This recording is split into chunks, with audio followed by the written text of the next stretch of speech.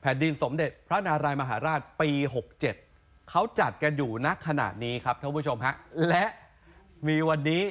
กับวันพรุ่งนี้ค่ะและจบงานแล้วนะครับท่านผู้ชมฮะอ้าวหมดแล้ว ใช่ก็จนถึงวันที่ 18 กุมภาพันธ์ครับ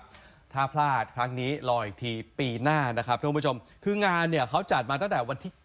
9กุมภาพันธ์ที่ผ่านมานะครับค่ะท่านผู้ชมฮะซึ่งงานในวันนั้นนี่นี่นายกรัฐมนตรี ก็ไปร่วมงานท่เศรษฐด้วยทวีนะคะสินไปเปิดงานนะคะถูกคือถ้าเป็นคนที่ใส่ชุดไทยขึ้นนะอะเข้านะเข้านะอืมคือเอาไม่ใช่เฉพาะชุดไทยอะทุกชุดอะค่ะคือคือแฟชั่นอะใช่ไหมฮะแล้วพอมาใส่ชุดไทยแต่ละชุดของท่านเนี่ยก็โอ้โห ใส่แล้วดูดีอะค่ะดูสวยนะครับ ดูโอ้โหนี่เอาวันพิธีเปิดมาให้ได้ดูกันนะครับท่านค่ะผู้ชมฮะ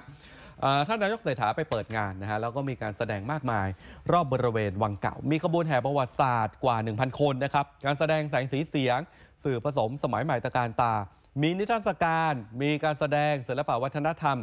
ชาวลบบุรีและนักท่องเที่ยวก็แต่งชุดไทย นุ่งโจงห่มสไบแต่งไทยทั้งเมืองนี่ concept ค่ะ ของเขานะครับชาวลบบุรีเนี่ยเขาแต่งไทย กันตั้งแต่ปีใหม่แล้วนะอืมเออไม่ได้มาแต่งเมื่อ 9 กุมภาพันธ์ที่วันเริ่มงานนะเอาแต่งมานานแล้วนะคะ ใช่แต่งมาตั้งแต่ปีใหม่ จนมาถึงงานเนี่ยครับ แล้วเขาแต่งกันทั้งเมืองแบบนี้เลยนะฮะค่ะเออซึ่งก็เป็นปกติทุกปีที่เขาจะแต่งกันแบบนี้ก็เรียกว่าเป็นซอฟต์พาวเวอร์ที่ชัดเจนของเมืองลบบุรีเลยนะครับ ว่าง่ายๆว่าถ้าเราไปถึงเมืองลบบุรีเนี่ยเราก็สามารถใส่ชุดไทยกลมกลืนไปกับชาวบ้านในพื้นที่ใช่ได้เลยนะใช่สามารถถ่ายรูป check in ตามโอ้โหจุดต่างๆ ได้ด้วยนะคะ ดูสิฮะสวยไหมฮะนี่สวยไหม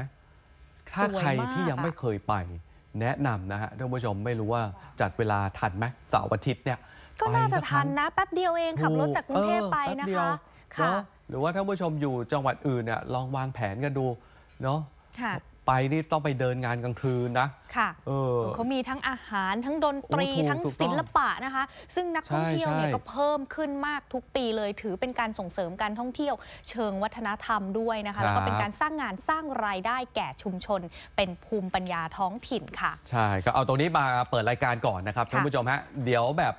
พาเที่ยวเจาะลึกเลยเนี่ย Talk of the Town เดี๋ยวน้องทิพย์ นี่จะพาเราลงพื้นที่เพราะว่าแกก็แต่งชุดไทยไปเที่ยวงานนี้เหมือนกันจัดเต็มนะครับสุดๆอะเออเออ